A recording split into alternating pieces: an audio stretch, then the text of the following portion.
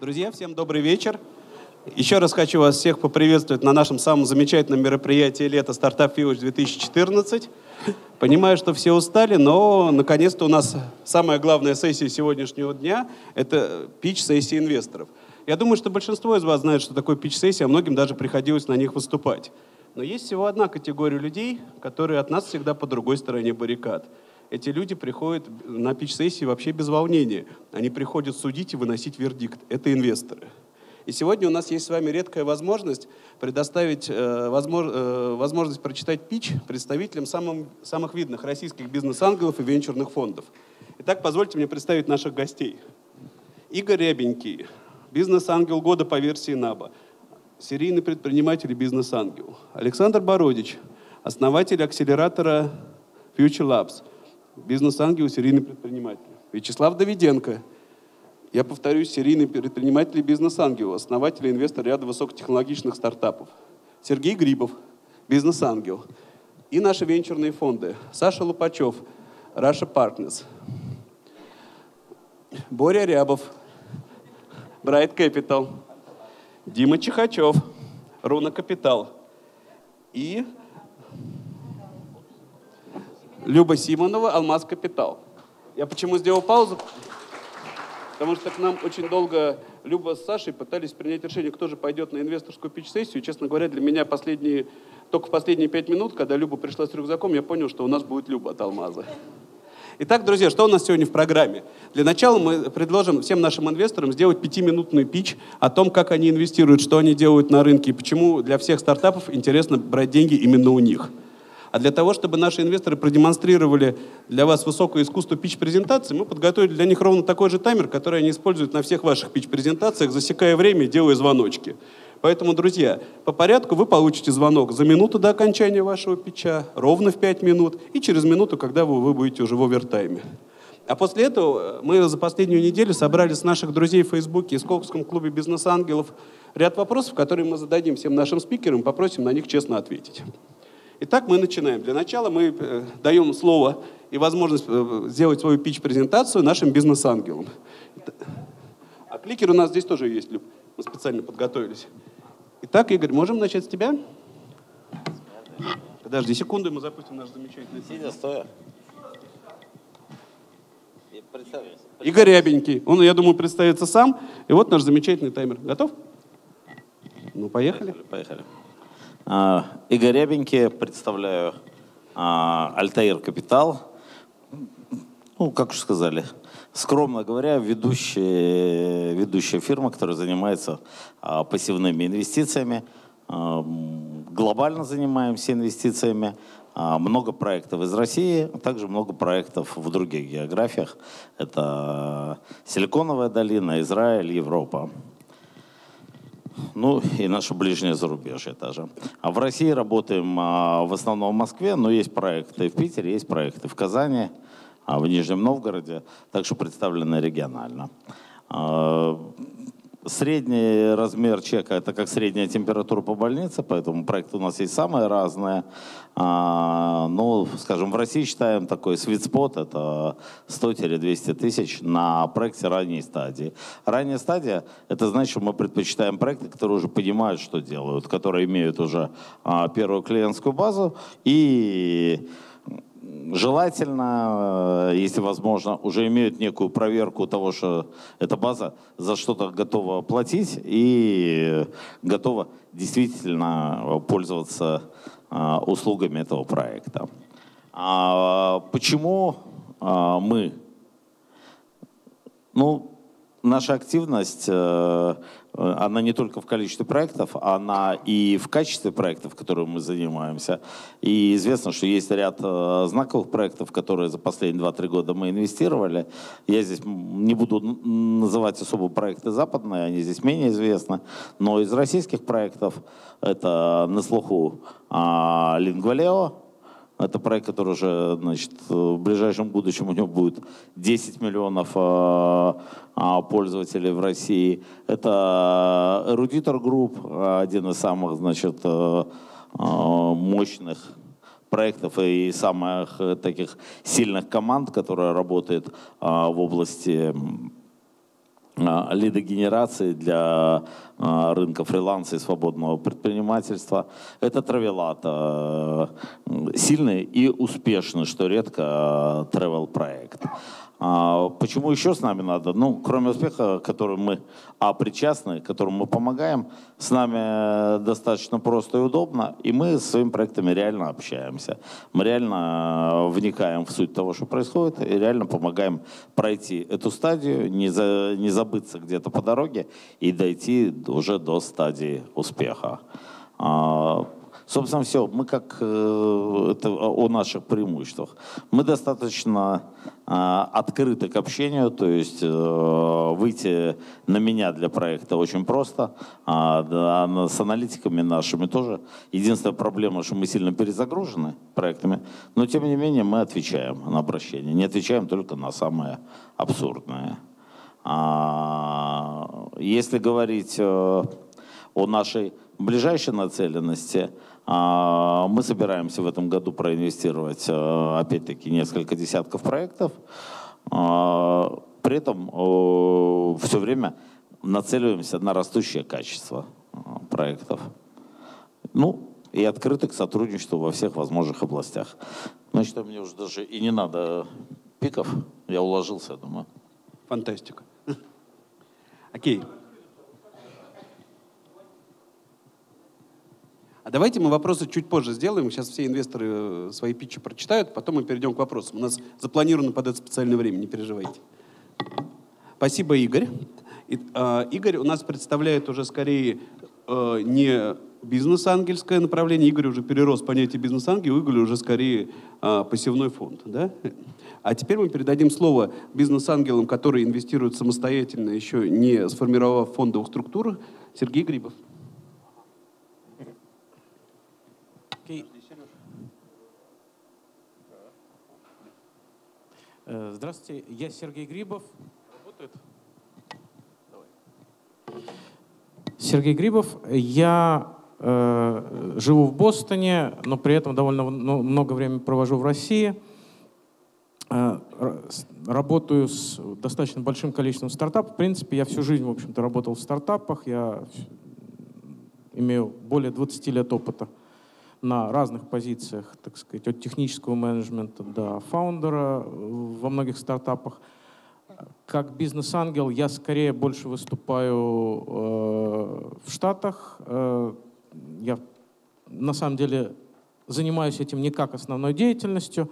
Иногда я э, инвестирую, но в основном именно там. И, как правило, я инвестирую в составе там, достаточно большой группы, достаточно большого синдиката.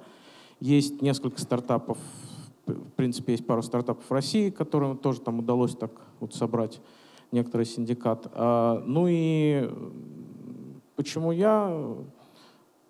Я довольно активно участвую в проектах. Я, во многих проектах я участвую поначалу как э, ментор, как-то работаю с проектом, и только там на какой-то стадии уже, так сказать, пообщавшись с проектом достаточно долго, захожу, э, готов заходить в проект какими-то деньгами.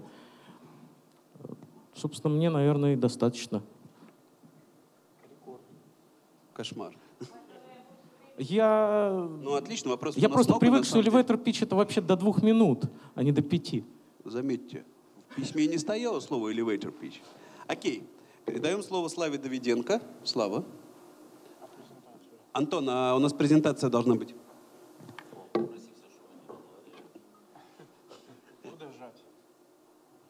Подожди, твоя презентация? Да. Ну тогда жми. Ну, можем подарить все время неиспользованное. Все, поехали. Поехали. Ну, я как примерный, получается, ученик, подготовился, все как положено, Евгений сказал, там, презентация, пять минут. Мужик шестерка. Да? Ну окей, заработал. Значит, э, я последние три года, получается, что профессиональный бизнес-ангел, заканчивал МИФИ, Чикаго, вот. Э, начинал когда-то в 90-е годы как предприниматель, потом была корпоративная карьера, Компьюлинк, Ренессанс Капитал, Флеминг Family Partners. Вот, как я упомянул, до того были всякие разные собственные бизнесы, типа Брок Сервис, Media Mechanics, MBA Consult, который по-прежнему жив, компания, занимавшаяся слияниями, поглощениями, Advantage там, и так далее.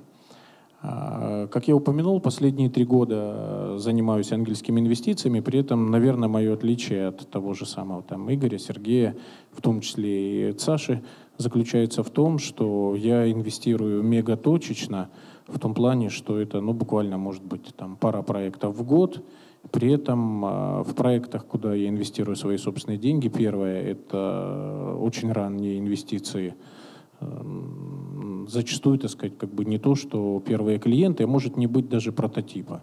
То есть просто, чтобы была, так сказать, как бы идея, а прототип там появится позже.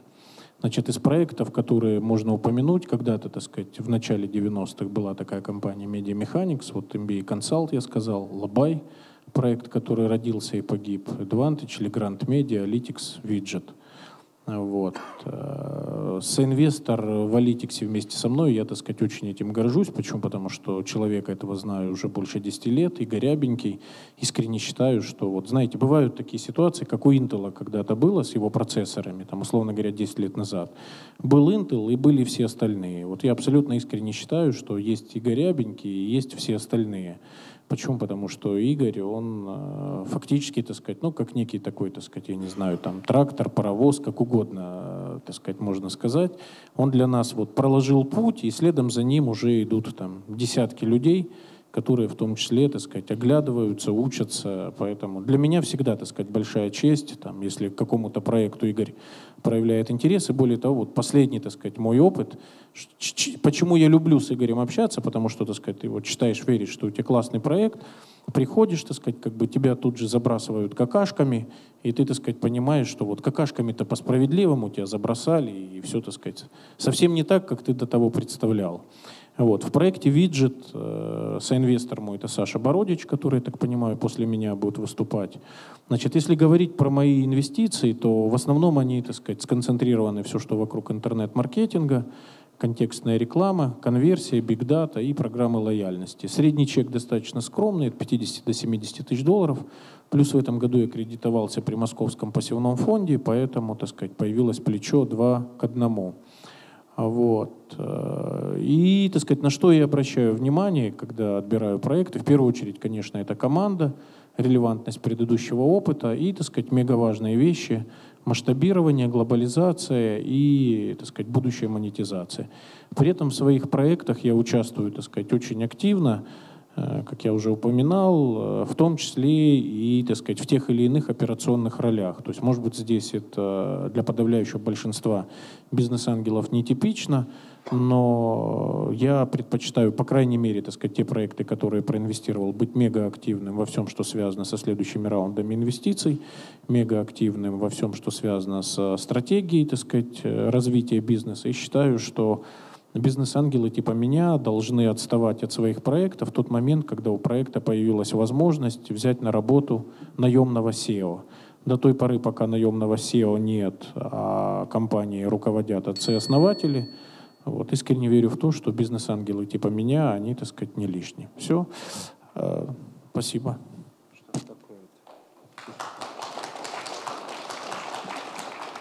Наши бизнес-ангелы дем... работают, да? демонстрируют совершенно фантастическую укладывание во времени. Поэтому, Саша, и поехали. Добрый день, меня зовут Саша Бородич, я бизнес-ангел. И ко мне можно приходить не только за деньгами. Ко мне можно приходить за ценным советом. Если я даже и не дам денег, я скорее помогу вам. Посоветую, какой фонд, какому бизнес-ангелу обратиться а, не столько потому, что я там точно знаю, кому вы подходите, а столько потому, что когда я начинал как предприниматель, а, я на своей шкуре и на, так сказать, своих незапущенных и плохо запущенных проектов, помимо тех, которые были успешны, на, наступил на такое количество грабель и по, совершил, по-моему, все возможные ошибки, которые только может совершить предприниматель, что поставил себе одной из целью помочь начинающим предпринимателям этих ошибок не совершить. Собственно, моя задача перевернуть а, российское представление о том, что если человек упал, то он больше никогда не поднимется, в достаточно известную американскую фразу, что fail means experience, а, и ведет а, падение, ведет, дает опыт, и этот опыт ведет вас к успеху. Соответственно, моя задача — помочь начинающим предпринимателям пережить те ошибки, не совершить те ошибки, помочь не совершить те ошибки и, соответственно, там, достичь успеха. Я инвестирую на очень-очень-очень ранних стадиях, на стадиях, когда готов только прототип, когда можно проверить только самые-самые первые гипотезы. Соответственно, инвестирую, как вы понимаете, там, в, в, как вы можете видеть, я здесь самый, самый молодой, и, соответственно, в наших терминах, наверное, видимо, бизнес-ангелочек, а не бизнес-ангел. И инвестирую там несколько десятков тысяч долларов, и редко чек бывает больше там сотни тысяч. Тем не менее, э, у меня в портфеле сейчас 28 проектов, что кумулятивно дает достаточно большую сумму. Есть уже первые проекты, которые там совершили свой экзит, то есть были проданы, и, соответственно, вложенные в них инвестиции вернулись. Тем не менее, так как я занимаюсь этим профессионально не так давно, то судить о результатах еще пока рано. Тем не менее, мне кажется, что э, средний процент тех проектов, в которые я инвестирую, из, из них успешных будет больше, просто потому, что наверное, я еще не перегорел как предприниматель и помогаю проектам, в которых выступаю как бизнес-ангел и руками, и головой. Соответственно, помогаю закрывать и маркетинг, помогаю закрывать там стратегические вопросы, помогаю с стратегическими партнерствами, если это возможно, если это необходимо проекту. Поэтому если у вас есть какие-то проекты, которым требуется помощь, не обязательно инвестиции, обязательно обращайтесь, постараюсь помочь каждому из тех, кто есть в зале, обещаю лично ответить и рассказать, куда пойти за инвестициями, если они необходимы. Спасибо большое. Спасибо, Саша. Теперь мы дадим слово представителям венчурных фондов и начнем тоже с Александра. Саша. А, Антон, там презентация должна быть. Коллеги, добрый день. Меня зовут э, Александр Лупачев. Я представляю фонд э, Russia Partners. Они же российские партнеры в эпоху социальных сетей, сетей типа Secret, довольно сложно э, сказать что-то новое об организации, но я постараюсь, э, в основном по фактам. Э, хотя мы называемся российские партнеры, на самом деле мы представители иностранного капитала. По нынешним временам, наверное, не самая комфортная позиция. Но в России уже 20 лет, с Саша, 94 -го года. поближе, пожалуйста. И за это время профинансировали больше 60 российских компаний, в основном созданных талантливыми предпринимателями. В 90-х это были такие компании, как MTV. Сейчас э, это в основном технологические компании, сферы софта и интернета. А наша основная роль — это помогать предпринимателям масштабировать их бизнес. Э, у нас в управлении несколько фондов. Э, средняя сумма сделки варьируется в диапазоне от 5 до 50 миллионов долларов. С нами десятки предпринимателей стали по-настоящему богатыми людьми. Некоторые из них по результатам экзитов заработали сотни миллионов. А, наверное, самый яркий пример – это компания EPAM, офшорный разработчик, крупнейший на территории России, Украины и СНГ. А, с позапрошлого года мы создали специализированный фонд э, для инвестиций в технологические компании. Сейчас э, в этом фонде уже 7 инвестиций, есть аппетит еще на 5-7. А, мы, наверное, единственный в России игрок, который является по-настоящему глобальным. Штаб-квартира в Нью-Йорке, операционные офисы во всех странах БРИК и в Кремниевой долине. Вот буквально завтра я туда лечу обсуждать очередные сделки. То есть ты хвастаешься? Да. Для нас, э, для нас ключевой момент – это возможность масштабировать технологии и рынок. Э, в этом смысле э, софт и интернет масштабируются достаточно хорошо. А, наличие связи в других регионах э, позволяет нам заимствовать опыт э, у компаний, которые уже прошли определенный путь. Э, где-то впереди нас Индия, где-то Бразилия, где-то Китай. Есть чему поучиться. Обычно, если мы инвестируем, то даем возможность компании развиваться и дальше с точки зрения привлечения инвестиций. После нас обычно заходят крупные глобальные фонды с красивыми именами. Вот здесь перечислены некоторые из них. С большинством из них мы до сих пор соинвесторы в наших портфельных компаниях. Они отличный источник э, сделок и рекомендаций и клиентов. Как мы распределяем работу между нами и предпринимателями? Если вкратце, то основная задача предпринимателя – растить выручку, работать с клиентами. Наша задача – растить мультипликатор на эту выручку. В среднем за 5-7 лет нахождения нашей компании в э, составе акционеров мультипликатор вырастает 2-3 раза. Это квинтэссенция качества компании, темпов ее роста, ее прозрачности, ее доли на рынке. И, наконец, наша история успеха. А, у нас больше 30 экзитов. Цыплят по осени считают, а инвесторов по экзитам. Из них э, из 35 на бирже. Это самая сложная и самая большая задача для предпринимателя. С одной стороны стать богатым, с другой стороны независимым от ограниченного круга инвесторов. Э, пять наших компаний на бирже, одна из них, э, собственно, московская биржа, котируется сама у себя. Сейчас это достаточно большие компании, некоторые из них с выручкой больше полумиллиарда, но когда-то они все были стартапами, когда-то все были маленькими. Соответственно, наша задача — найти тех предпринимателей, которые мыслят масштабно.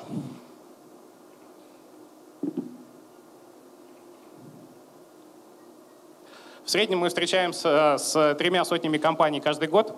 Контакты у нас всегда открыты. Если будут вопросы, пишите, звоните. Спасибо.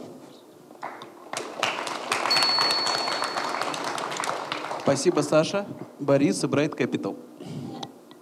Борис, презентации нету, да? Нет, А, окей. Слышно? Да? Вроде да. Здравствуйте, я Борис Рябов, э, управляющий партнер фонда Bright Capital. Эм, Я, наверное, попытаюсь уложиться еще меньшее время. Э, У нас два направления э, инвестиций, с которыми мы работаем. Мы работаем с э, цифровыми э, компаниями, по сути, с теми, с которыми работают все остальные, и мы работаем еще с промышленными технологиями. Это в каком-то смысле наш конек, потому что фондов, которые умеют квалифицированно отбирать и управлять, и, самое главное, находить партнеров и продавать проекты, в промышленных технологиях не так уж и много. А, Большая часть нашего портфеля э, не в России, и по тем фондам, по которым мы уже проинвестировали, и по тем, которые, которые инвестируются сейчас – Э, Соответственно, шансов того, что мы отберем ваш проект э, и будем работать с ним, не очень много, э, честно говорю. А, Но если мы это делаем, это значит, что мы видим потенциал для стратегического партнерства также вне России, для того или иного проекта. Прошу любить и жаловать. Заходите к нам на сайт brightcapital.com. Все написано, вы видите, какие компании мы инвестировали, сделайте выводы, насколько то, что вы делаете, подходит для нашего фокуса и насколько мы подходим для вас. А, наша партнерская сеть — это не только Россия, но это Европа, Израиль и Штаты, на, и на Западе, и на Востоке Штатов. А, мы очень любим работать с компаниями, у которых платформенные технологии в любом из направлений. А, что в цифровых, что в промышленных а, технологиях. А, У нас есть практика бесплатных советов — обращайтесь. Э, не обещаем, что конкретно к вам она будет применима, но э, действительно те компании, те проекты, которые нам нравятся, э, в особенности те предприниматели, которые, в которых действительно огонь в глазах, э, мы с удовольствием общаемся э, и помогаем, даже несмотря на то, будет или не будет инвестиции. По нашему опыту нам говорят спасибо за это, ну и нам тоже нравится. Так что приходите.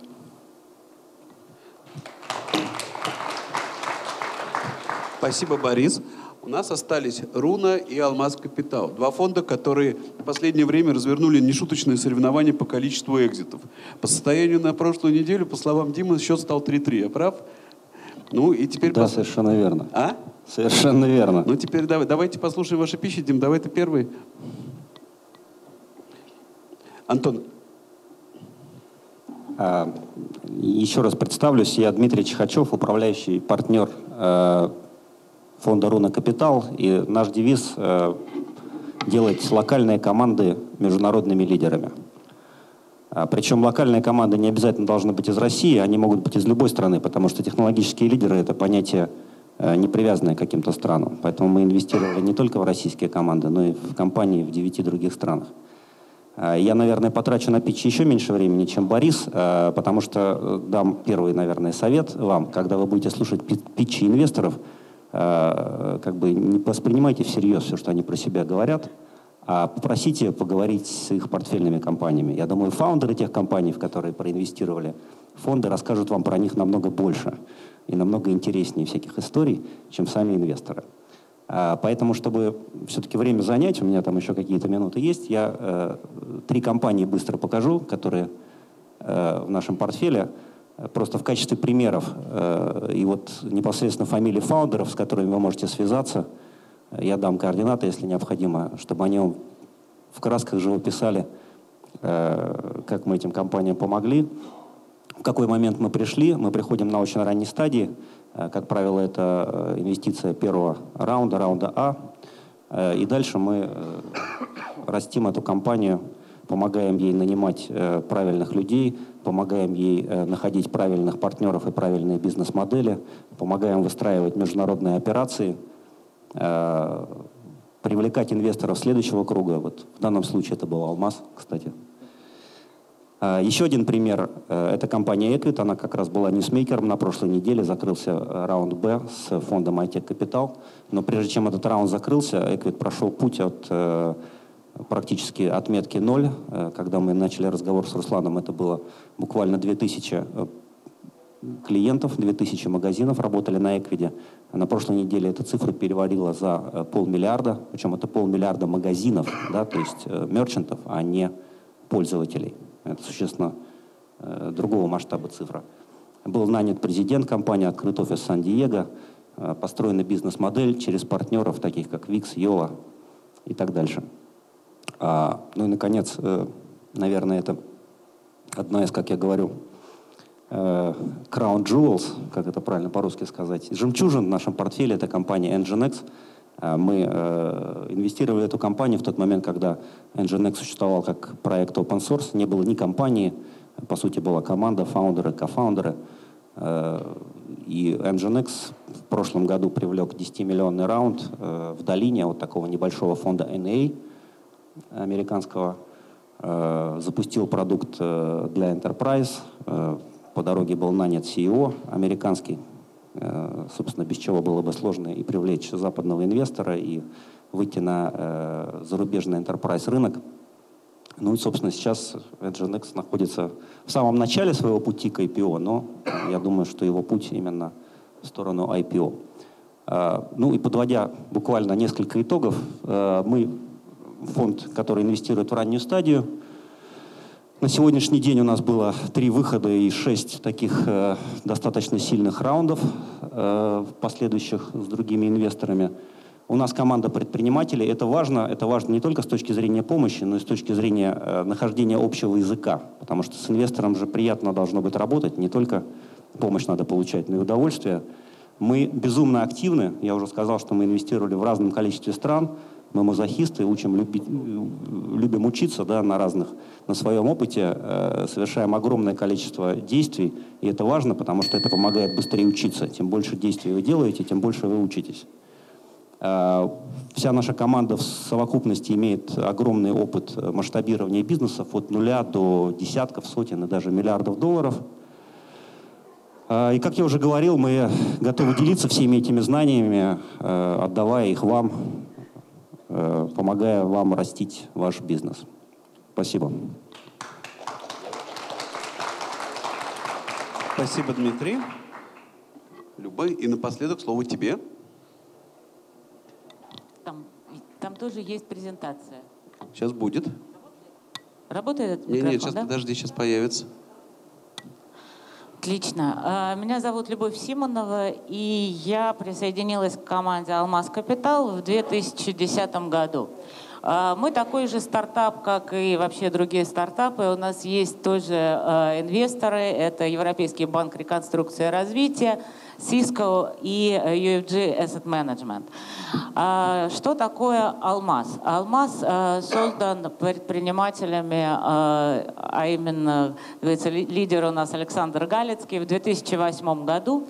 На текущий момент у нас более 22 компаний в портфеле и э, несколько э, сотен миллионов долларов э, в управлении.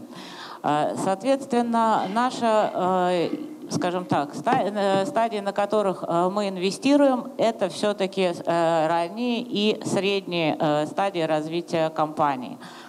А, я бы не сказала, что это совсем сид, но э, у нас инвестиции идут примерно от 700 э, тысяч долларов. Средний чек э, за последние 7 лет составил примерно 6,5 миллионов долларов.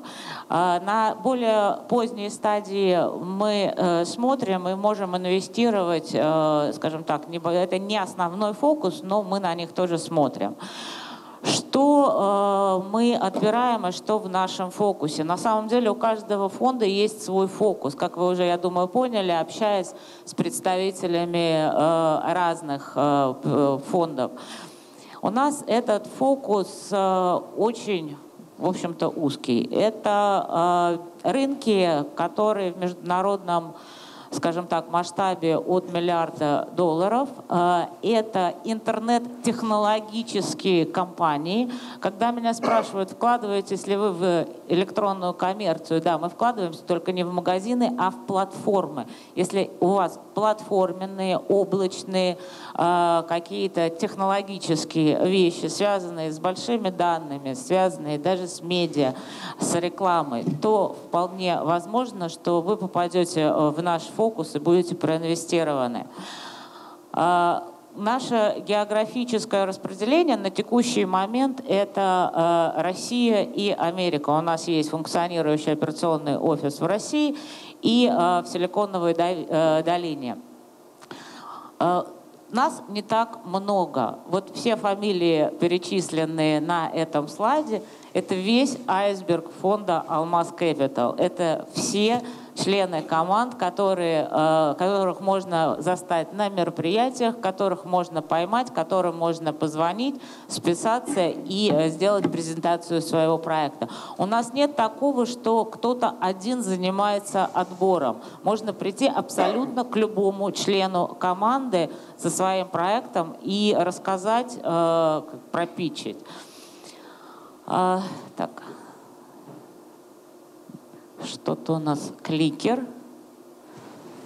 Отлично. А, соответственно, у нас а, фонд такого, скажем, а, классического построения, который смотрит на команды в России и в Америке, и строим мы свою политику развития компании по так называемой бридж-модели. Э, обязательные, э, скажем так, условия – это работающий бизнес и в Америке, и на территории э, России.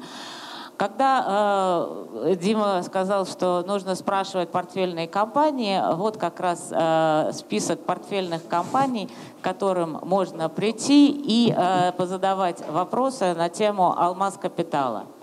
Из последних э, инвестиций компания э, GridGain, компания Sinara, достаточно интересный такой такая э, ранней стадии компания, которая строит очень интересное телекомовское решение. Компания Sensity, компания Nival — это все те люди, к которым опять-таки можно приходить и узнавать все про Алмаз Капитал. Одно из последних наших инвестиций э, это Starwind, э, который работает, в общем-то, тоже в глобальном э, масштабе. Для тех, кто захочет посмотреть более детальный наш фокус, и в презентации это все описано. Здесь много мелких букв, которые с экрана не сильно читаются. И, как говорится, почему э, мы? Потому что мы э, открытые игроки, играем условно на территории Российской Федерации, э, странах СНГ. Мы одна из лучших команд имеем представительство и опыт работы как на территории России, так и на территории Америки. И вот эти все люди, которым можно посмотреть в лицо. А, наша команда Александр Галицкий, Джефф Байер, Павел Богданов, Чарли Райан, Роз Ден, Люба Ира, Виктор. Итак, спасибо за внимание. Спасибо, Люба. Но, к сожалению, наши инвесторы не дали нам шансов сказать, что кто-то из них нарушил отведенное время. Поэтому я предлагаю перейти к заранее заготовленным вопросам. Для того, чтобы сидящим в зале было интереснее, я хочу понимать. Друзья, кто из вас зарегистрировался на нашем мероприятии в качестве стартапа? Поднимите руки, пожалуйста. Окей, в качестве инвестора? Остальные, я так понимаю, в качестве посетителей. Это либо инвесторы, которые сэкономили пару тысяч, либо э, посетители, которые собираются стать стартапами. Итак, наш первый вопрос, на который я попрошу всех ответить по очереди, а, он звучит следующим образом. Друзья, как вы выбираете проекты и где вы их ищете? На что стоит обратить внимание стартапу перед тем, как идти к вам? Давайте мы начнем уже по порядку, чтобы, Игорь, как и где? А, это самая последняя тема, как выбирать проекты, потому что, в общем-то, мы не успеваем быть сильно проактивными, потому что проекты сильно активны. И здесь вот как раз это было много, вот сначала Дима, потом Люба, что спросите те проекты, в которые вы инвестировали, чтобы узнать о нас. Так вот, мы очень много проектов как раз получаем через те проекты, в которые мы инвестировали, потому что они нас всячески и настойчиво рекомендуют. Потом мы много проектов получаем а, от а, сообщества, скажем, от старших братьев, то есть а, венчурные фонды которые видят хорошие проекты, но при этом считают, что для них ранняя стадия, а, рекомендуют нам а, проекты. И, в общем-то, все здесь сидящие, кроме, наверное, Russia Partners, а, время от времени какие-то проекты нам отправляют. Я считаю, что это нормально. Так же, как и мы считаем нормальным отправлять им проекты, которые переросли нашу стадию. А так, э, в общем-то, достаточно, достаточно большая известность есть у Альтаира в России, поэтому проект у нас здесь находит сами. А на других рынках это более классические, это, это ивенты, нетворкинг и очень много как раз вот от э, своей, от своей тусовки, от проектов и от партнерских фондов. Спасибо, Саша. Ну, известность Альтаир большая, известность Саши Бородича маленькая, поэтому волка кормят ноги. А, я отбираю проекты на всевозможных ивентах. В основном это либо победители э, всевозможных инкубаторов, акселераторов, либо это проекты, которые попали на встречи клубов, разнообразных клубов бизнес-ангелов, либо пришли по рекомендации от кого-то из бизнес-ангелов. А, бизнес-ангелы в последнее время любят и хотят делиться друг с другом проектами для того, чтобы синдицировать совместно деньги, э, сделки, для того, чтобы, собственно, каждый из ангелов мог вложить ту сумму, которую может, и для того, чтобы общий Уважаемые участники, просьба вернуть раздаточные материалы, в которых находились документы с написанными от руки э, текстами в э, комнату потерянных вещей. Dear participants, please return the participants' materials with documents written in written hand, uh, writing to the lost and found room. Нехорошо брать чужое. А, соответственно, в, на таких мероприятиях, как сегодняшний, Э, сегодняшний ивент. И, наверное, сейчас бы... участники, просьба вернуть раздаточные материалы с документами, написанными от руки, в комнату потерянных вещей. Dear participants, please return the participants' materials with documents written in hand to the lost and found room. Thank you. Верните уже документы, давайте. А вот они, похоже, машут документами. Ну и слава богу, соответственно, в нашем мире есть социальные сети, LinkedIn, Facebook, и большое количество заявок, которые потом превращаются в инвестиции, приходят по, через них. Спасибо. Спасибо, Саша. Вячеслав, ваше слово. Ну, во-первых, сформировалась действительно экосистема. Есть э, Сколково, есть Фри, и оттуда идет большой поток. Второе, что если проявляешь какую-то минимальную активность то достаточно часто пишут. И третье — это от э, других бизнес-ангелов. Благо, что мне здесь существенно легче по сравнению с моими коллегами, потому что, как я сказал, что у меня инвестиции редкие и точечные, поэтому мне, наверное, вот такого огромного массива проектов переваривать не нужно. И был еще один вопрос, если я не ошибся, э, так сказать, как отбираешь, в смысле, на что внимание обращаешь, да? На что стоит стартапам обратить внимание, когда ну, они вот. к тебе идут? Э, ну, у меня, так сказать, три критерия, я в презентации их показывал, основные. Первый — это команда, второй — это масштабирование, третий — это глобальность. Причем, если говорить о команде, то я бы так сказал, мое субъективное мнение — что очень сложно найти проект, который погиб из-за того, что была, так сказать, плохая идея. Я искренне верю в то, что проекты почти всегда погибают от того, что либо плохая команда, либо, ну, условно говоря, плохие инвесторы, либо команда в какой-то момент с инвесторами поссорились.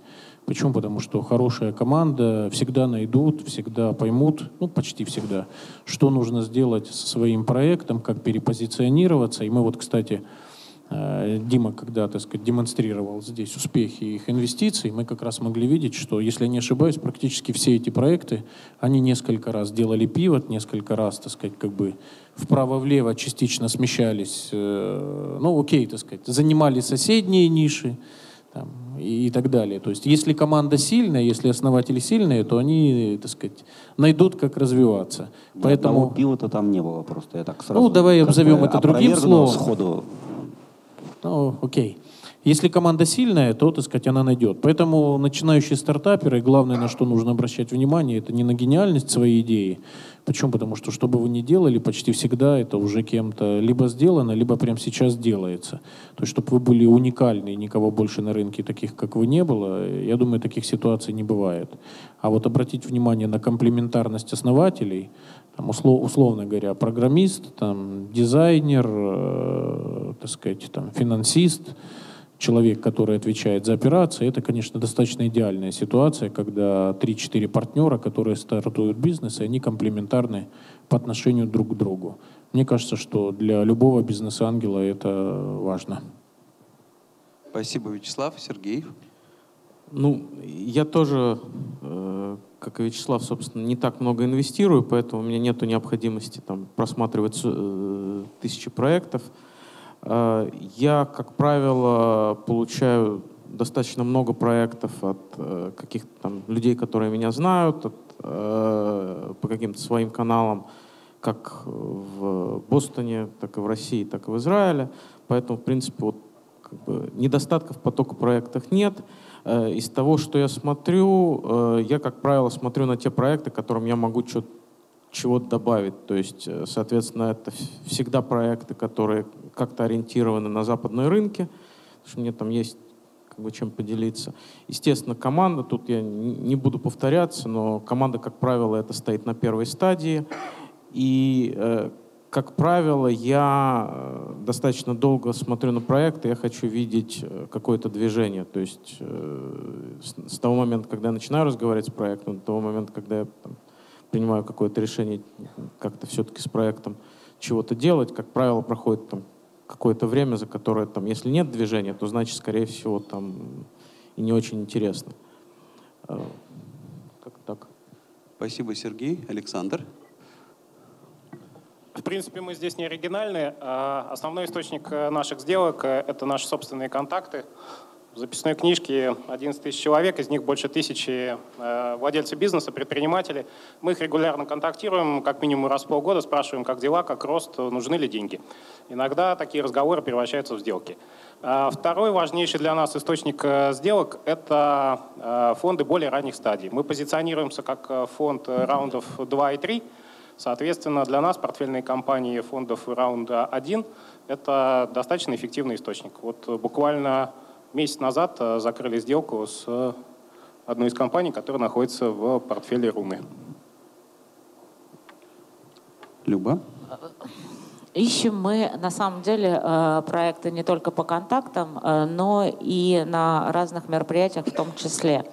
Почему? Э, Потому что, с одной стороны, это э, определяет определенные э, тренды, на которые там стоит, не стоит смотреть.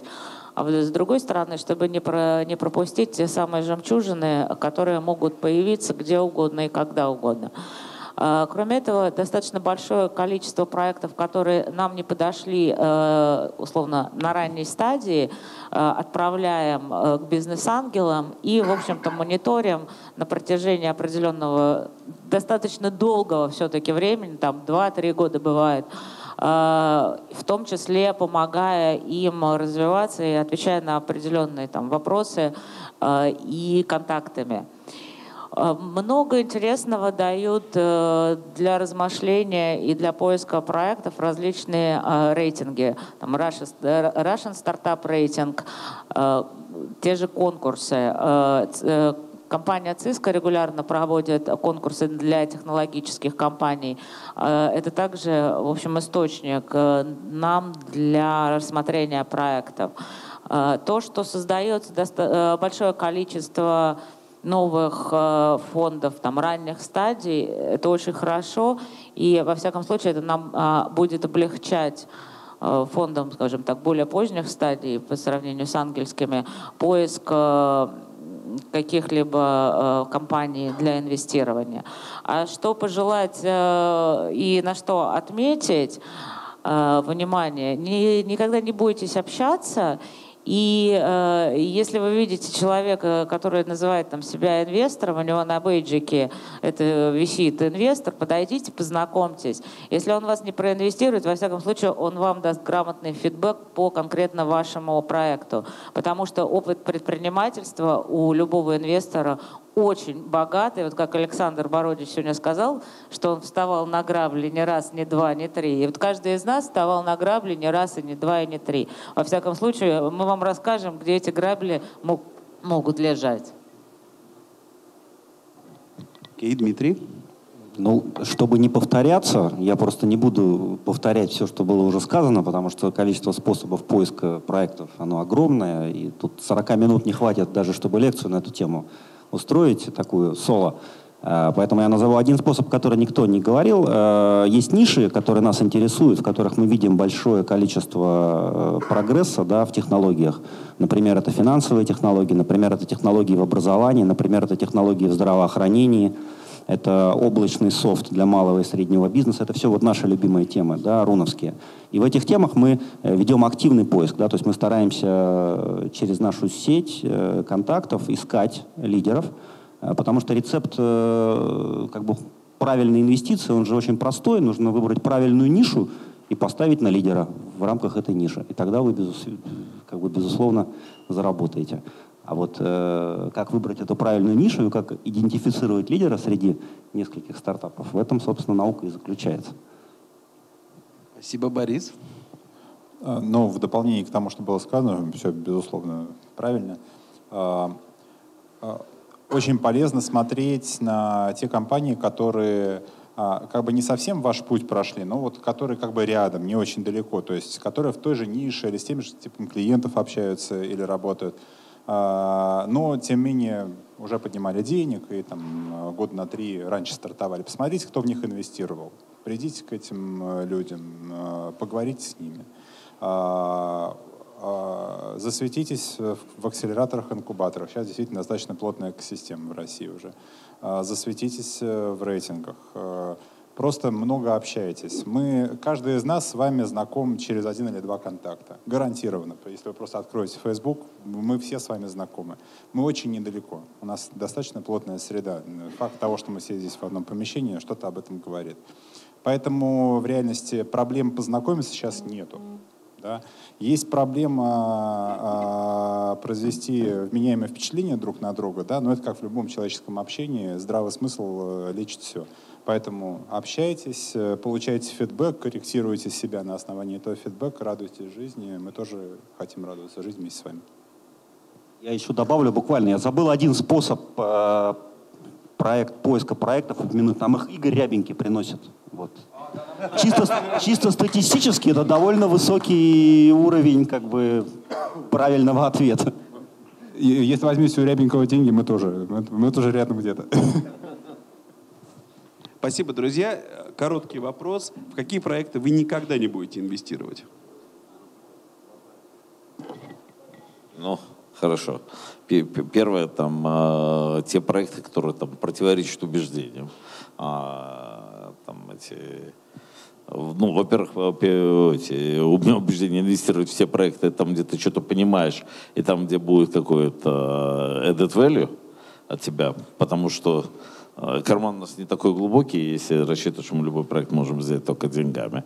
А потом, ну, есть проекты, которые действительно противоречат, там, не знаю, там, торговля оружием. Там Росвооружение – это уважаемая компания, но я, допустим, этим заниматься там не стану. Ну и там все, что лежит там на грани или за гранью, это понятно, тоже нет. А, мы реально, у нас достаточно большой эм, спектр проектов. Это есть образование, мы любим проекты, которые здравоохранение, причем такие больше там со здоровым образом жизни связаны, э, всякие мобильные там. Э, мы не будем инвестировать в проекты вот, э, близкие нам, но где есть сильные эксперты рынка, а мы такими не являемся.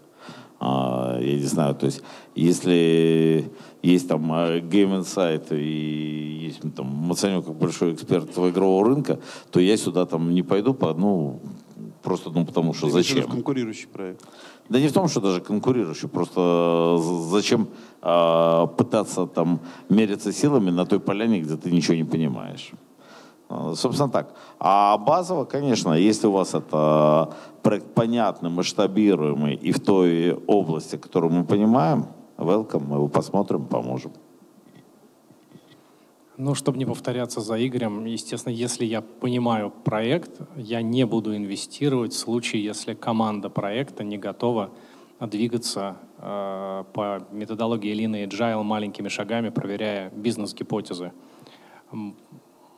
Я убежден, что именно таким способом, на той стадии, на которой от меня максимум пользы, проект может э, улучшить свои результаты там, за несколько месяцев в десятки раз.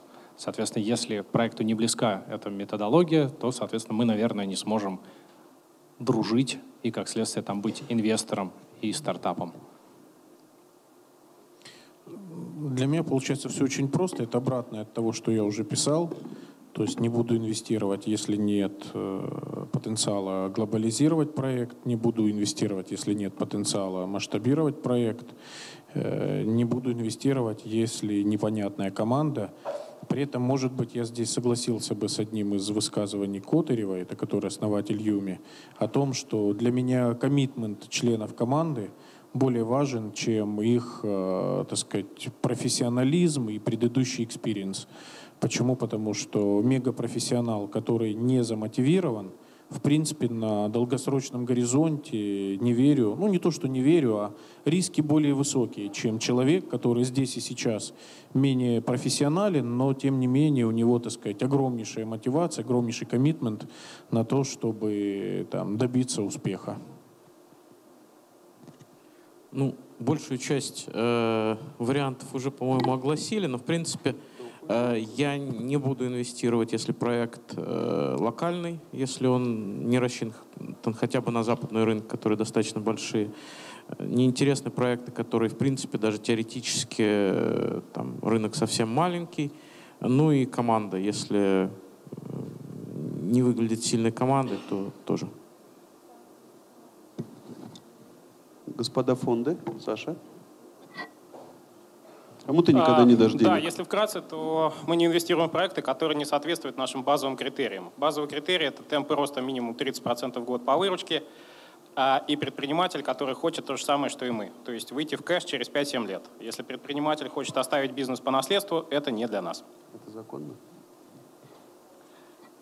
Э, Для нас важна э, предпринима- э, идея предприниматель реализация, то есть мы проинвестируем, когда будет совокупность трех показателей, не считая того, что компания должна четко попадать под наш фокус, потому что у нас институциональные инвесторы, у нас продуманная стратегия и, опять-таки, достаточно э, узкий фокус. Высокотехнологический интернет-компании. Если большая часть бизнеса находится э, в офлайне, то это не наш фокус, и мы в это не будем инвестировать. Опять-таки, если это магазин, то в магазин мы не инвестируем, а в платформенное решение, которое будет решать вопросы э, электронной коммерции там, или ритейла, опять-таки интернет, технологическая компания, в такую мы будем инвестировать. А, У меня вот, как ни странно, был рояль в кустах. Можно рояль? А, Я имею в виду, что в презентации, которая была у меня, там как раз были последние надо несколько слайдов. Да, если можно. Там были несколько слайдов последних, которые А, я не презентация показал. Руна Капитал, пожалуйста. Потому что время кончилось. И там был как раз ответ на этот вопрос, куда мы не инвестируем. Сейчас, я думаю, она у нас вернется. Дима, вы найдите кликер пока, чтобы быстро дойти Да, до кликер я сейчас слайда. надо. Это буквально займет минуту. Вот она уже есть. картинки. Давайте я прямо сейчас перейду в конец. Вот, собственно, э, но мы, понятно, не инвестируем, если вы не занимаетесь разработкой программного обеспечения, если у вас там биотек или клинтек, то есть фокус не совпадает, это тривиальный ответ. Э, Еще мы не инвестируем в слабую команду, в которой отсутствует еще к тому же лидер четкий. Э, Мы не инвестируем в немасштабируемый бизнес и в гаджеты. Гаджеты, я здесь имею в виду бизнес, который какую-то инкрементальную пользу приносит. Например, лесенка для маленьких собачек. Огромный рынок, ну, как бы такой очень гаджет. А где они Лайт. продаются? А вот если мы слышим такое э, от предпринимателя, то мы не инвестируем, даже если у него при всем прочем. Даже если бизнес растет на 30% в год. А, вот если мы такое слышим, тоже мы не очень любим инвестировать. Э, Потому что ни один нормальный э, проект нельзя сделать без плана. А, Вот это вот я очень не люблю фразу. Вот эта девушка тоже не воспринималась как конкуренция, тем не менее проникла в лагерь э, и отрезала голову военачальнику. Не очень любим, когда полностью размыт фокус у проекта, когда много чего делают. И особенно, когда несколько проектов, когда предприниматель приходит и говорит, у меня, о, вы знаете, у меня есть еще один проект, и еще один. Нет, я вам сейчас расскажу, у меня пять проектов. А, про умение работать с инвестором, это вот похоже на Сашину тему, что инвестор, э, предприниматель должен быть с нами в одной лодке и быть готов продать бизнес. Если он не готов продать бизнес, то это не бизнес, а хобби. Вот в эту ситуацию мы не любим инвестировать. Э, вот эта фраза тоже нас немножко пугает. Потому что разница между левым верхним углом и правым нижним как раз вот этой фразой описывается.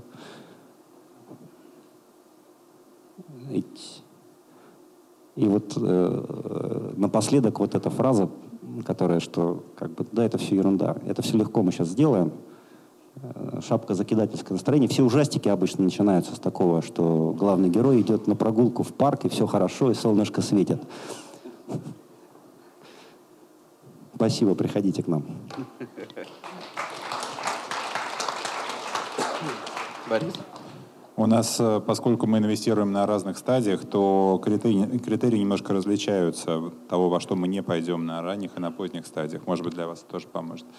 А на ранней стадии мы присоединяюсь ко всему, что было сказано, то есть если мы не видим э, вменяемого предпринимателя, глядя на которого мы понимаем по сумме признаков, э, что нам будет комфортно с ним работать, э, то мы туда просто не полезем. Вне зависимости от того, насколько широкая или узкая идея, там, насколько все хорошо или плохо. Э, и очень важная способность э, выполнить, вот ability to execute, э, которая с одной стороны, трудно уловимо, а с другой стороны, очень легко объясним. Вот э, человек либо умеет строить, либо не умеет строить. Это существенно. Э, либо знает, где найти людей, которые умеют строить, там подождем, пока появятся такие люди, или вместе попробуем что-нибудь э, сделать. Ну, денег не дадим, пока не поймем, что вот ability to execute появляется. А в компаниях более поздних э, стадий мы скорее похожи на логику работы private equity фирм. Э, то есть мы смотрим на выручку, мы смотрим на всякие такие штуки, которые вы ожидаете увидеть в компании, которая растет.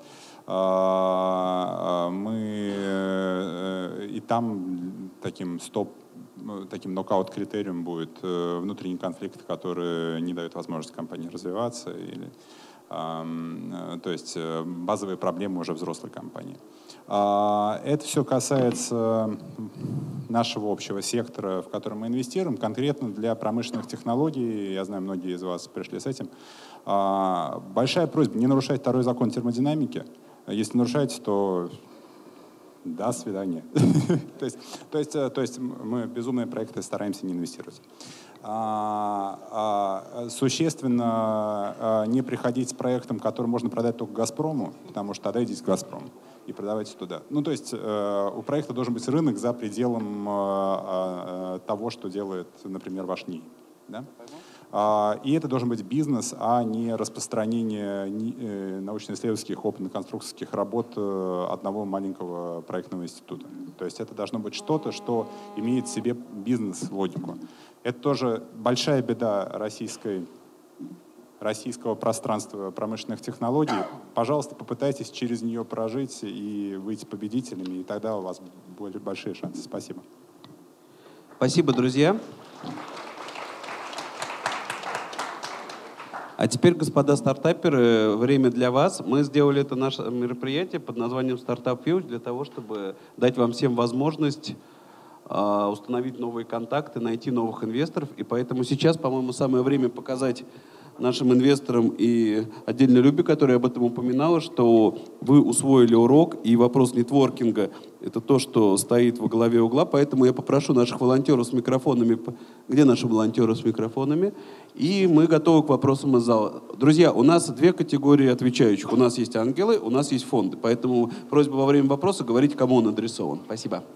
Василий Хлопков, технопарк Якутия. Вопрос... И просьба говорить чуть погромче, плохо слышно. Василий Хлопков, технопарк Якутия. Вопрос к фондам. Какое количество проектов были инвестированы на Дальнем Востоке? Спасибо.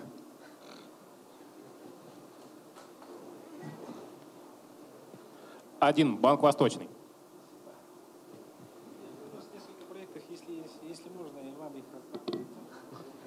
Они попадают под фокус э, наших фондов, вот, про которые мы говорили. Это интернет-технологическая компания.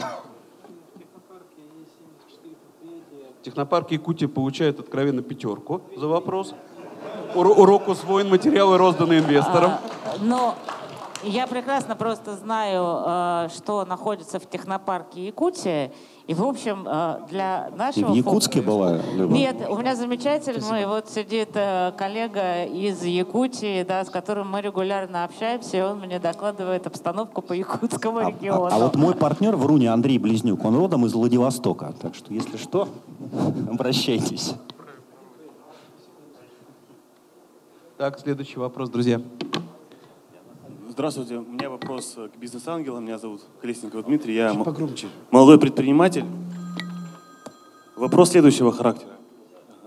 А, Какие механизмы вы используете при рас- а, а, определении, определении распределения долей ну, между инвесторами и фаундерами, например? Особенно интересно на ранних стадиях, когда как таковая там, финансовая модель и инструменты из этого вытекающие, они в принципе не работают, когда еще, допустим, там есть только прототип или даже прототипа нет. То есть как э, вы решаете этот вопрос?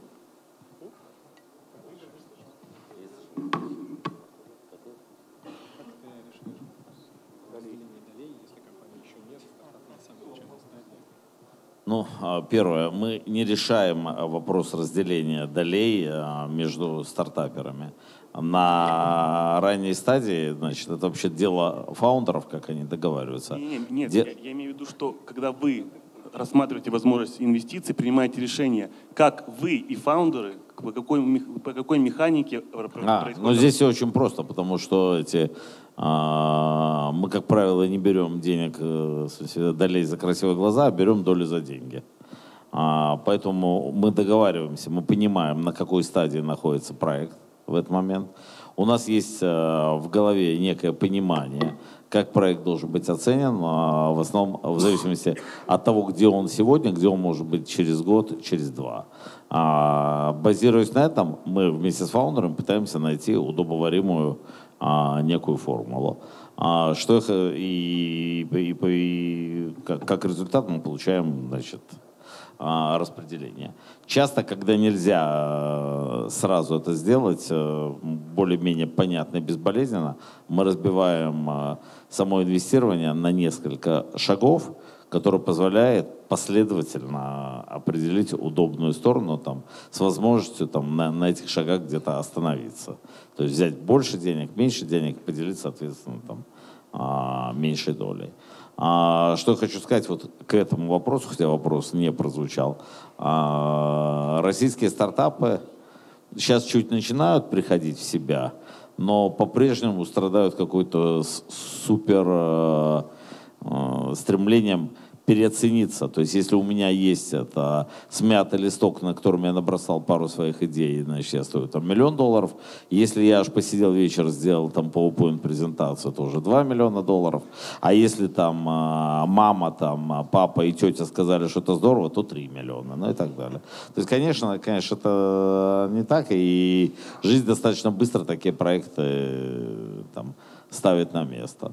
А, Поэтому, в общем-то, да, на- надо плясать э, от того примерно, а, какое, что инвесторы, которые инвестируют в ваш проект, а, какой заработок они видят там, для себя на том, что они какое-то время с вами в проекте пробудут и подведут его к каким-то выходам, и от этого уже и плясать. Да, я э, могу добавить, э, во-первых, э, к вот тому вот комментарию на тему валюаций стартапов. То есть на, ну, сегодня немножко, может быть, они опустились, но момент там несколько месяцев тому назад точно совершенно валюации стартапов в Бостоне были таких аналогичных ниже, чем валюации стартапов в Москве, что ситуация немножко ненормальная. То есть, так сказать, рынок, э, запросы были явно сильно большие здесь. И второе, есть еще механизмы, на самом деле, э, там, например, convertible note, через который вы, по сути, можете немножко отложить решение, э, сколь- э, какие проценты отходят э, за инвестицию до следующего раунда, по сути. Там, я не хочу вдаваться в подробности, но, в общем, все это легко найти. Можно я от инвесторов добавлю, просто мне эта тема очень всегда задевает за живое. Вот те, кто думают э, долго над тем, сколько процентов отдать инвестору, я вам советую переключиться лучше на мысль, а с каким инвестором мой стартап будет стоить десятки миллионов долларов, с каким сотни миллионов долларов, а с каким, допустим, миллиарды долларов. А если вы подумаете немножко, этот вопрос намного важнее, чем вопрос, сколько процентов вы отдадите. Ну да, я просто Потому немножко... что 50% от миллиарда, допустим, это намного больше, чем 90 от 10 миллионов. Э, Я просто добавлю чуть-чуть, вот э, совершенно согласен с, Ди- с Димой, потому что э, я очень часто говорю стартапам, что когда вообще вы смотрите на то, какой процент вы отдаете за что-то, там, или кофаундеру, или там опции сотрудникам, или инвестору, смотрите на это не с точки зрения процента, какой вы отдаете, а смотрите, вы отдаете его за какой-то value, который вы получаете. Вот если то value, которое вы получаете, оно больше вот этого процента, то это good deal. Э, Сори, еще немножко. Мне кажется, здесь еще важны следующие вещи. Первое. В любом случае, как бы это некий компромисс. Э, Первое, любой стартап, ты всегда по аналогии можешь оценить там, примерно каких денег он стоит. Просто потому, что были аналогичные сделки. Э, Второе, э, ну, опять-таки, мой собственный опыт, брать в стартапе меньше, чем 15% некомфортно ангелу, а просить больше, чем 30%, наверное, это, так сказать, неправильно по отношению к основателю. И последнее, вот по моему опыту, западные проекты, они не боятся очень быстро расти, многократно размываться, Поэтому нередка ситуация, когда э, там, доля основателей она падает ниже 10%, но при этом э, стартап развивался бурно, продался там, за 300 миллионов долларов, и все заработали. Вот у нас в России здесь несколько такая, так сказать, более распространена собака на сене.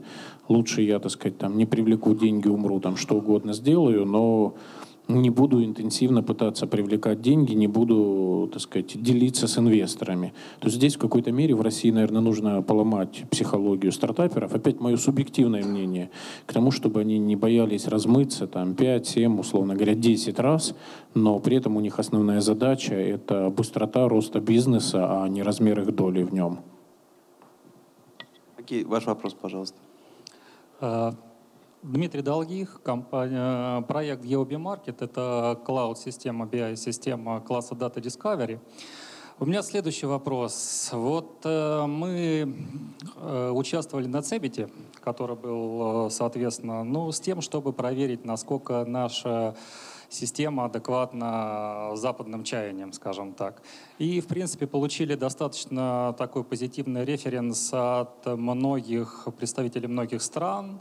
В основном это были консалтеры, которые готовы были продавать нашу систему как бы все в стране. Были представители Бундестага. Давайте которые- вопрос, пожалуйста, а то у нас Да. времени немного. Э, Вопрос следующий. То есть зачастую вот э, мы, то есть у нас куча визиток, но пришли к тому, что пониманию, что зачастую не хватает не столько, может быть, денег, сколько знаний именно вот как вступить на западный рынок. И вот э, если нам нужны именно вот как бы вот эти вот знания, то есть можем ли мы обратиться к вам, да, то есть не только вот с просьбой там дайте денег, а вот э, поговорить, обсудить, то есть какие есть проблемы, что нам не хватает, какого шага нам не хватает, при том, что у нас есть некий положительный референс, да, и есть желание. Можно я отвечу на ваш Да. вопрос, хоть я и не представляю ни ангелов, ни фонда? А, Я тут тоже хотела Об-. Обращайтесь в Сколково, у нас есть шикарная менторская программа для вывода наших стартапов на западный рынок, мы вам все расскажем и поможем.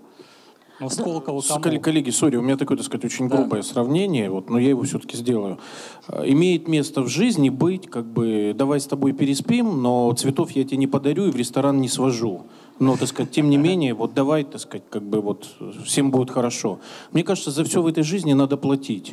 Поэтому, типа, вот мы встретились, посоветовались, и вы, так сказать, насоветовали, куда и как двигаться. Это, наверное, не совсем корректно. Почему? Потому что, ну, по-нормальному есть некая энергетика обмена. То есть, если тебе дают знания, ты чем-то за это должен заплатить. Ну, Нет, минимум это это отношением, говорит, а максимум, так сказать, если вы хотите там нормальный, профессиональный, заинтересованный совет, значит, наверное, нужно, так сказать, поделиться какой-то долей, то есть дать интерес, чтобы тот, кто вам советует, для него это было не абстрактное менторство, помимо всего прочего, а, так сказать, чтобы он это делал. Почему? Потому что он за деньги купил у вас долю и теперь хочет, чтобы его деньги прирастали. Поэтому он начинает тратить на вас огромное количество времени, свои связи, то есть все что угодно для того, чтобы вам помочь. Поэтому, мне кажется, надо немножко делать вот шаг дальше. Это не... Никто вам не насоветует, что нужно сделать. И менторства здесь не хватит. Здесь действительно по-настоящему нужен партнер. Ищите партнера, у которого есть опыт, вводите партнера тем или иным образом так, чтобы он был заинтересован в вашем бизнесе, и дальше, он, так сказать, вам будет советовать там много. Ну, наверное, так сказать, это вот больше относится к фондам, чем к бизнес-ангелам, мне а так у кажется. меня на самом деле э, такой простой вопрос. А зачем вы общались с консалтерами? Вы поехали на Цебет, вы могли абсолютно спокойно искать тех, кто станет вашими клиентами, вашими, вашего продукта. Почему вы не собрали хотя бы фидбэк от возможных покупателей продукта? То есть перед тем, как выходить на западный рынок, э, вы должны понять, а купит ли продукт кто-то, и потом уже находить людей, которые будут помогать вам продавать этот продукт. Я еще шире вопрос поставлю. Зачем вы на Цебет поехали? Вы бы еще на Петербургский экономический форум со стартапом. Нет, ну, мы же уже, как бы, они уже туда поехали. Только вот зачем с консалтерами Найдите какую-то узкую отраслевую конференцию, где сосредоточены ваши как бы фокусные заказчики правильного уровня, там не Нет, но мы там ярмарку были- тщеславия, а рабочую выставку. Выставки же разные бывают. Цебит это шоу. Ну, Цебет это шоу, да, хотя мы там э, находились... Друзья, пожалуйста, давайте цепит мы обсуждать не будем. Там. если- если можно, да, я пожалуйста, следующий вопрос вы, пожалуйста. Можно кор- коротко, коротко прокомментировать? А, давай, Совсем sorry. немного. А, смотрите, это, в принципе, такая общая ситуация типовая, да, когда стартап говорит, э, слушай, инвестор или там не инвестор, э, помоги мне с клиентами, например. Ребят, самая лучшая ситуация, в которой вы находи- будете находиться, если вы скажете, вот мой клиент, я знаю, что он есть, помоги мне выйти на него. Тогда это значит, что вы сделали свою работу и даете нам сделать нашу работу. Вот когда вы говорите, я хочу Сименсом, мы тебе скажем, не-не-не, не надо. Или, а, вот смотри, вот так, вот так, вот так, вот тебе контакт. Но если говоришь, а к кому мне пойти, тогда, скорее всего, ты свою работу не сделал, потому что ты предприниматель, а не мы. А, Дмитрий Сухоручкин, э, нейро ИДСС, нейро- нейроэкономическая интеллектуальная система поддержки принятия решений. А, У нас э, проблема в том, что мы на- мы нашли, наша отрасль э, — это системы полиграфии, полиграф, те, которые могут выявлять какие-то нарушения внутри компаний, внутри организаций. Стоимость нейро- нейротехнологий — это тысяча долларов в час, такое гигантское, гигантское оборудование, плюс это И вопрос? Э, Вопрос такой, насколько э, низк- узкая эта ниша и какие могут быть инвесторы, которые, и какой тип э, инвестирования мож- можете вы предложить? Это, то есть это работа как контр- контрразведч- контр- контрразведки Ну, наверное, насколько э, узкая внутри, эта ниша, внутри это должны компании. вы сначала рассказать все-таки как фаундер проекта. Нет, не сейчас. Ну, то есть э, готовы ли инвесторы э, такой области, допустим, с оружием не, не готовы некоторые работать, а вот такая контрразведка, полиграф, полиграфы, э, детекторы лжи, но более сложная, тысяча Если долларов потенциальный доход э, как бы в этой нише меньше, чем миллиард долларов США, то в подавляющем большинстве ситуаций инвестор с ней связываться не захочет, если только это, а, не является его хобби, и, б, он не хочет получить некий дивидендный бизнес, который, так сказать, будет вот работать и какая-то копеечка капать. Но если это бизнес, так сказать, как бы саморыночная ниша, она меньше определенного там, объема в деньгах, как я сказал, условно говоря, миллиарда долларов, то я думаю, подавляющему большинству инвесторов это будет неинтересно, потому что ему нужен взрывообразный рост. Если проект выстрелил, чтобы он мог выстрелить, там, допустим, на его деньги в 100 раз, в 500 раз, в 1000. Если у вас вся ниша, там, условно говоря, 20 миллионов долларов, ну, сомневаюсь. Нишевый рынок может быть интересен стратегическому инвестору. А, а, вообще ниша интересная, как ниша, то, что вы делаете. А, если вы поймете, что а, если поймете, что у вас за клиенты и э, куда дальше с этим двигаться, то вот посмотрите, там Google купил Boston Dynamics, э, кто бы мог подумать, кто бы мог подумать, да? Боевых роботов покупает, почему будет такую штуковину купить стратегию? Спасибо. Давайте следующий вопрос. Меня зовут Вадим, компания Метаполис. У меня проект похож на Сколково, поэтому вопрос о Сколково. А, Мы находимся на территории, на территории города будущего. Вопрос к фондам и к ангелам.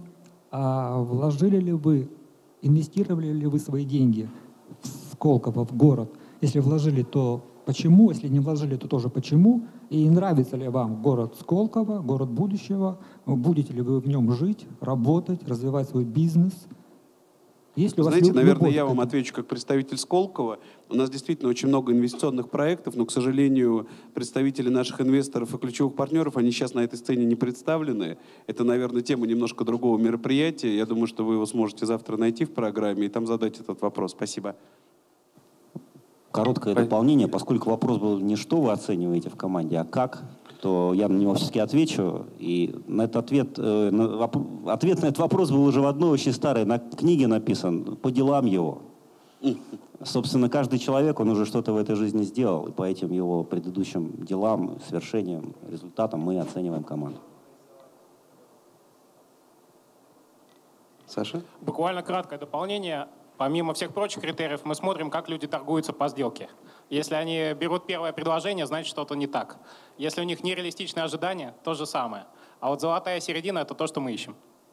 Спасибо. Ваш вопрос? У меня вопрос. Э, меня зовут Федоров Вячеслав. Вопрос, собственно, связан с тем, что на рынке тревела, как вы знаете, очень э, неспокойные были истории э, и успешные проекты, которые работают в плюс, вы рассматриваете или, или перегорели к рынку тревела?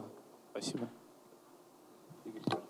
Ну, здесь э, я думаю, что это не связано с рынком тревела как таковым, а это связано с э, тем типом бизнесов, которые работают на рынке тревела. Э, вот кто-то сказал, по-моему, Люба или Саша, про офлайновый компонент бизнеса. Люба, да, ты сказала, что в тревеле на самом деле очень большой офлайновый компонент. То есть онлайн тревел это по сути такая разновидность электронной коммерции, где большое как бы Успех в основном зависит от того, как вы организуете свои операции, свою логистику, какой у вас будет инвентарь, э, какой у вас будет маркетинг, какой у вас будет колл-центр. А онлайн-компонента или как бы технологическая компонента, она не очень большая. И Но... Ну. поэтому э, мы э, как бы в такие проекты приняли для себя решение не инвестировать. Наверное, это была в целом ошибка, что мы туда пошли. Я для себя принимал э, такие решения неоднократно, вот как Дима сказал, не инвестировать в travel и, и инвестировал после этого. То есть на, на, на сегодня у нас э, три проекта, э, два из них, э, то есть два проекта успешных, и один мы сейчас вот закрыли сделку буквально в конце прошлой недели. А, надо подходить очень тщательно, потому что большое количество проектов, они там копируют, клонируют, пытаются там друг друга, огромная конкуренция и такая же огромная смертность в этих проектах, как и в офлайновом мире. Потому, поэтому travel как тема списывать в общем-то, рановато, потому что это один из самых объемных рынков, но очень-очень аккуратно. Мы инвестировали и успешно выходили из Travel, так что для нас сегмент э, внутренний хороший, но присоединюсь, э, дико сложно, очень конкурентная, сложно найти модель, э, и execution настолько важен, и очень мало кто умеет с этим работать в России в особенности. Спасибо. Ваш вопрос, пожалуйста. Добрый день. Меня зовут Олег Космин, предприниматель из Санкт-Петербурга. Есть участок земли, 14 гектаров собственности, где обнаружил воду минеральную. Э, с большим содержанием кремния. Ну, как известно, кремний он э, в регенерации костной ткани и вообще ну, для здоровья необходим. Э, хочу поставить линию по разливу этой воды, ну и в течение пяти лет развиваться и продать Кока-Коле, например. Кому будет... Кому, Классно. А в чем кому вопрос? Быть, а вопрос, кому из инвесторов может быть интересен этот проект?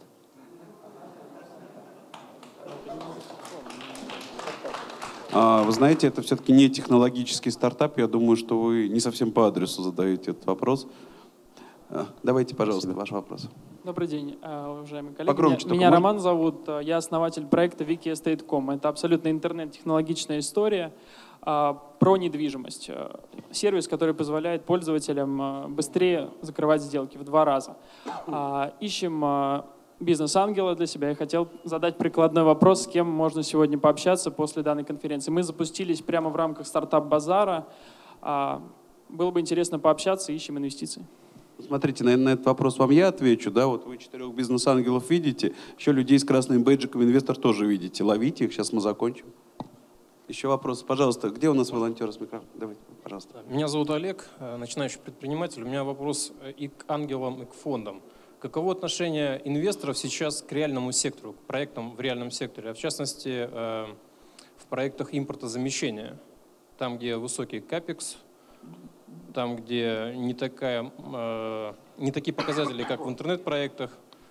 Каково я, я всегда очень обижаюсь, когда делают противопоставление информационной технологии и реальный сектор. Такое ощущение, что информационная технология — это какой-то виртуальный это сектор. Это не реальный сектор. Это не реальный сектор, нереально реальный. Мы, к сожалению, только инвестируем в разработку программного обеспечения, что является, вообще говоря, реальным сектором. Минсвязи вам может это подтвердить. 5 миллиардов в год объем экспорта э, программного обеспечения из Российской Федерации. Если говорить о реальном и нереальном секторе, вот у нас только Борис, по-моему, представитель реального да, сектора. Да, давайте отвечу. А, слушайте, ну непростая у вас история, что вам сказать. Инвесторов, э, которые в это полезут, мало. А, первое, гораздо большее значение для вас э, с самого начала будет играть ваши потенциальные стратегические партнеры, с которыми вы будете делать совместную разработку, продавать им чего-нибудь. И э, это не простая история, э, не самая простая страна для того, чтобы начинать такой бизнес, если честно. Но, тем не менее, раз вы здесь, постучитесь, поговорим. Не знаю, если можем чем-то помочь, поможем. Добавлю от себя, а, у нас целое семейство фондов, не только технологических, есть и фонды, которые инвестируют вот в то, что вы называете э, реальным сектором, например, в производство насосов «Новомет» или в птицефабрику по производству мяса индейки «Краснобор». А, тем не менее, ключевые критерии остаются на месте, то есть э, высокие темпы роста и вменяемый предприниматель. Спасибо. Ваш вопрос? Да, здравствуйте. Еще один Олег. Погромче, Гершпан. пожалуйста. Олег, я маркетолог, директор по развитию. Израиль, Россия, России тоже отдельно. Э, мне вопрос такой. Насколько интересен проект, э, линия по производству, которая существует в отдельных странах, в России ее нет. В проект вкладываем 4 миллиона долларов. Можно зарабатывать от 10 до 28 миллионов долларов в год. Окупаемость за два года. Э, более того, компания, которая предоставляет оборудование, предоставляет с момента запуска также и э, а, можно перебью? Коллеги, у меня есть предложение как бы не продавать здесь свои проекты. Действительно, так сказать, стоп, стоп, уже было сказано вот Евгением, что если вы хотите с кем-то пообщаться, подходите, пообщайтесь. Потому что я думаю, что всей аудитории неинтересно слушать, без обид, вот про ваш проект. А аудитории интересно слушать про какие-то обобщенные вещи. Обобщенная вещь. 4 миллиона долларов. Замечательно. Пример. Извиняюсь, если окупаемость два года, насколько это интересно при ну, подобных...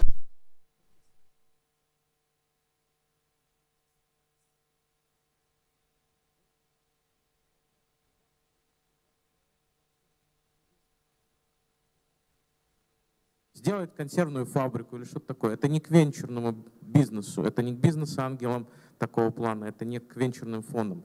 Это к private equity может быть фондом, но просто не, не по адресу. Хорошо.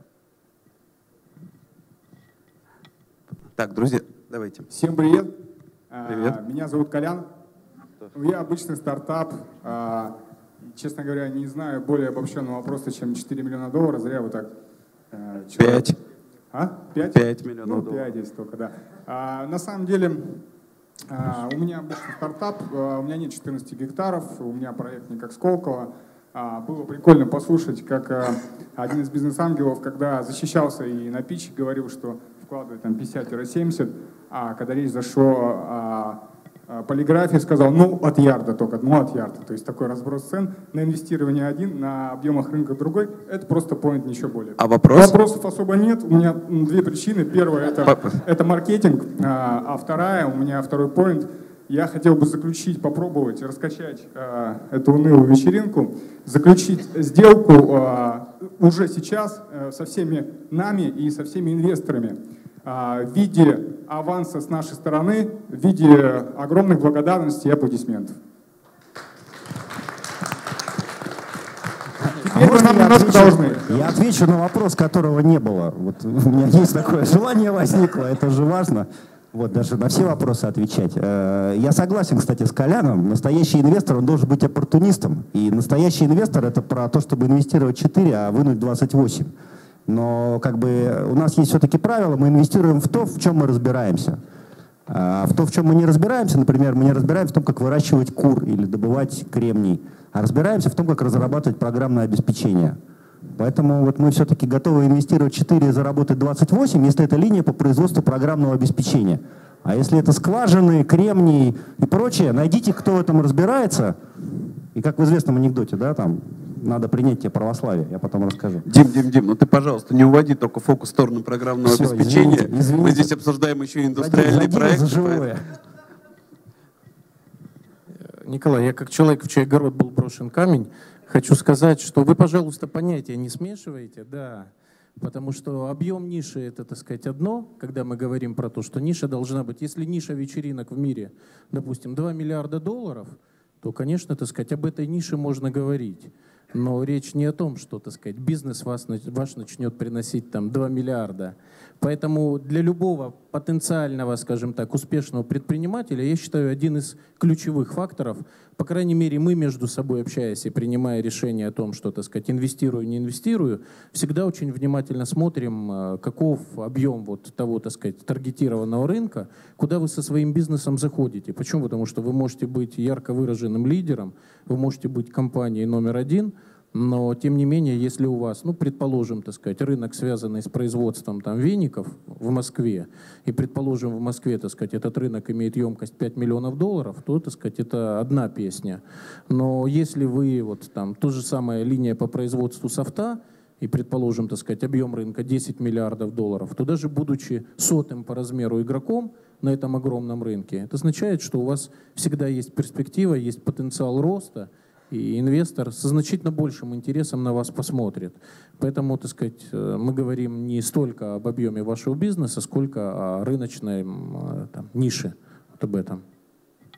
Друзья, я хочу поддержать предложение Коляна раскачать эту унылую вечеринку. У нас на улице сейчас начинается подготовка к автопати, поэтому я предлагаю всем сказать друг другу спасибо. И стартаперам, которые хотят поймать инвесторов, самое время этим заняться.